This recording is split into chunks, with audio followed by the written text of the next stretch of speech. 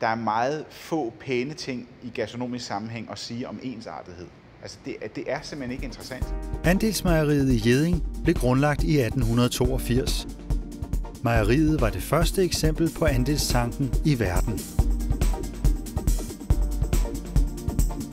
Alle ejere bestemte lige meget og fik udbytte efter, hvor meget mælk de indleverede. Udefra ligner mejeriet et husmandssted. Indeni var det dengang topmoderne, blandt andet med en centrifuge til at skumme fløden.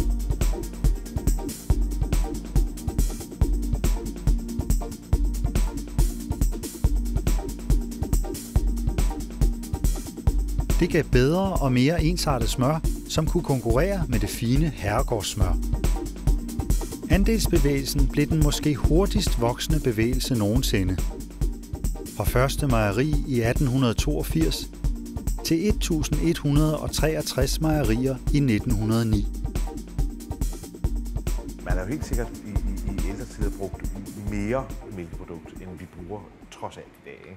Man har brugt, man har spist mere grød man har lavet mere mælkestuning, men mm. altså, det kan man jo se på, på, hvis man kigger på gamle danske egensretter, hvor, hvor der, der bliver der brugt rigtig, rigtig ja, meget mælk. Vi læser jo rigtig mange kogebøger, og det er da meget sjovt både at læse, altså de fleste danskere kender jo frøken Jensen, og det er også sjovt at læse fru Nems kogebog. Jeg er i gang med Madame Mangor for tiden. Ja. Madame Mangor er ganske interessant, for ja. hun er jo ligesom øh, moderen ja. til, til den danske kogekunst, i dansk øh, koge, kogebogsskrivning. Ja. Øh, og, og der er masser af retter, hvor jeg siger sådan, Jamen, Nå, ja. det er stort set sådan, som jeg også vil lave det i dag. Ja.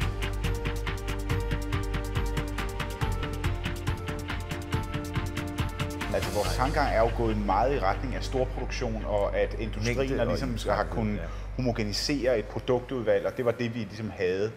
Og det øh, er vi lykkeligvis begyndt at ændre tankerne omkring det, og det synes jeg er super afgørende. Pludselig oplever man sådan danske rødkitsoste, danske skimmeloste, og jeg ved godt, at Klemensk og så videre, og Dana Blue og sådan noget, det har fundet, fandtes i lang tid.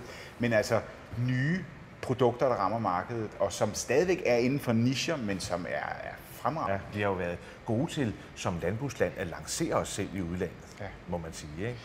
Men det var også i en anden konkurrencesituation, og det virker jo ikke bare inden for mejerisektoren, men inden for alle mulige områder, hvor vi bliver mødt af udenlandsk konkurrence, mm. så virker det ikke som om, at det, er en, det kan betale sig for et land som Danmark at satse på kvantiteten, og at vi bare Nej. skal gå ud og udkonkurrere de andre på, at vi kan lave større mængde, end de kan. Det vil vi aldrig kunne. Det virker som om, at den eneste øh, fornuftige øh, satsning, det er at satse på, at vi kan lave det unikke. Producenterne er jo også interesseret i det, fordi pludselig ej, vi kan få lov til at give det et særpræg, i stedet for at vi bare arbejder efter, en, øh, efter sådan en modelform, der bare kommer fra, øh, fra de store aftager, og så er det bare det, vi skal lave altid.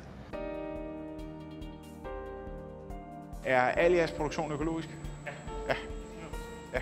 ja. Jeg køber i hvert fald for så vidt jeg går med mejeriprodukter udelukkende, udelukkende økologisk. Øh, mm. Og det er ikke øh, kun for at være god ved naturen. I virkeligheden, når man sætter sig ned og regner efter, så er det jo ikke, det er jo ikke sådan, at man siger, det der, det er alt for dyrt. Det er jo, det, det er jo de små penge,